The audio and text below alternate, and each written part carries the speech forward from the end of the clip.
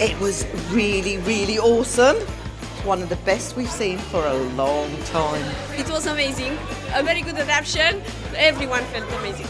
The mix of the old and the new and the jokes, everything. It was very cleverly done. And the cast was superb.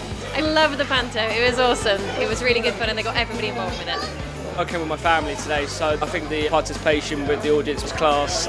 How funny it is and how interactive they are with the audience. It was just all really good. Loved it. Music was wonderful, costumes were fabulous, and the cast were absolutely great.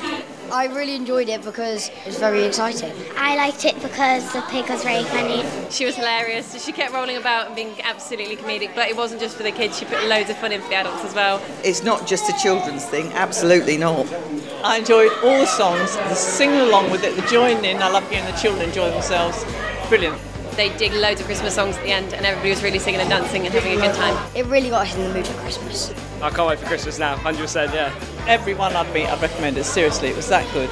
Do go. Don't wait and then all the tickets are gone because they will be. We're here at the beginning and later on they will just be like gold dust.